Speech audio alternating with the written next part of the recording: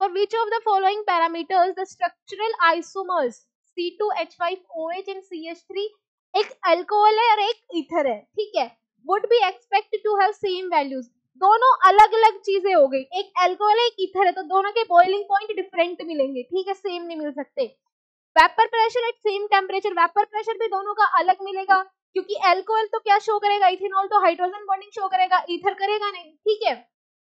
तो इनका vapour pressure भी अलग मिलेगा क्योंकि वेपर प्रेशर डिपेंड करता है nature of liquid and temperature पे, ठीक है? Heat of vaporisation is also different ठीक है? अब कहता है gases density at same temperature and pressure ये आइसोमर्स है तो इनके मोलिकुलर मास क्या है? सेम है।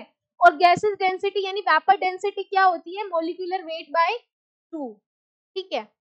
बस ग्रुप्स एटम्स इधर उधर लगे हैं, लेकिन इनका मोलिकुलर वेट क्या है? सेम है। ठीक है, इसका मोलिकुलर वेट कितना है? Twenty four twenty four plus sixteen plus six thirty forty fifty thirty forty forty six ठीक है ट्वेंटी फोर और सिक्सटीन कितना होगा? फोर्टी और सिक्स फोर्टी सिक्स तो दोनों के मोलिकुलर वेट सेम है। और वेपर डेंसिटी क्या होती है? Molecular weight divide by two तो अपना कौन सा वाला ऑप्शन चाहिए? Gaseous density at the same temperature and pressure ठीक है?